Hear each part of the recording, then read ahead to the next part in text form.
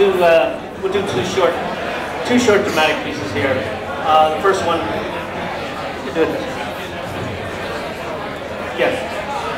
The first one is a, a poem by a, a gentleman named uh, Tomas McGreevy from uh, Tarbert, County Kerry, and uh, this is called uh, Red Hugh O'Donnell. Um, Red Hugh O'Donnell, as many of you know, was uh, one of the uh, great Irish earls who, after the Battle of Kinsale, uh, they had to go to continental Europe and enlist in the retinues of uh, the French, the Germans, the, the Spaniards, various armies. So this poem is about Tomas McGreevy trying to find uh, the grave of Red Hugh. How good. Trying to find Red Hugh's grave in the Cathedral of Valladolid. And by the way, Hugh, when he got to Spain, uh, was poisoned in a little town called Simancas, outside of Valladolid, by an agent of the English crown. So, Red Hugh O'Donnell, a little history here. Juan de Juni, the priest said, each J becoming H. Pero he said, and the G was aspirated. Ximenez, he said, then, and aspirated first and last. But he never said, and it seemed odd, he never had heard the spirated name the centuries dead bright-haired young man whose grave I sought. All day I passed in greatly built gloom, marvelously wrought, going from dusty, gilt tomb to tomb, rubbing and the inscriptions with fingers wetted with spit, and asking where I might find it, and failing.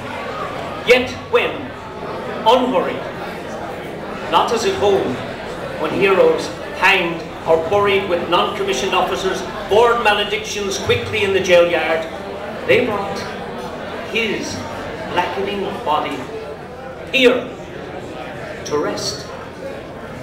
Princes came, walking behind it.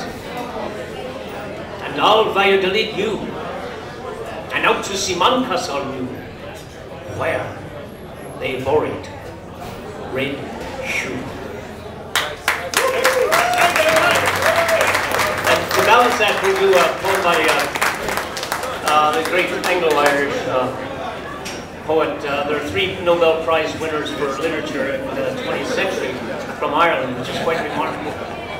Uh, we have our latest uh, famous Seamus, Seamus Heaney, and uh, very early in the century we had George Bernard Shaw, and then we had this gentleman uh, born in uh, St. Castle, Saint Green, Dublin, raised in Sligo, William Butler Yeats. This is, uh, this is about uh, creating art and creating art as you age. It's called Sailing to Byzantium.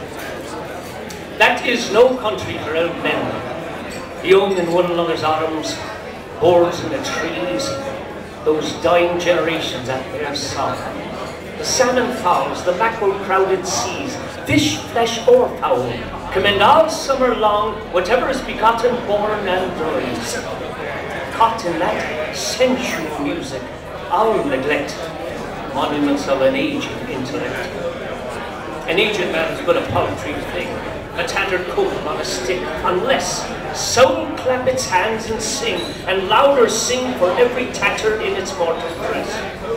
Nor is there singing school, but studying monuments of tone magnificence. And therefore I have sailed the seas and come to the holy city of Byzantium. O sages standing in God's holy fire, as in the golden mosaic of a wall.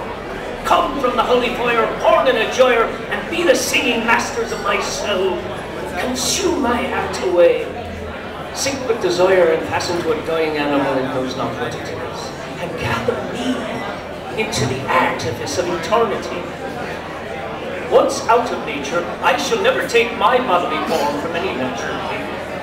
But such a form is Grecian goldsmiths made, of hammered gold and gold enameling, to keep a drowsy emperor awake. All set upon a golden bough to sing lords and ladies of his Byzantium of what is past or passing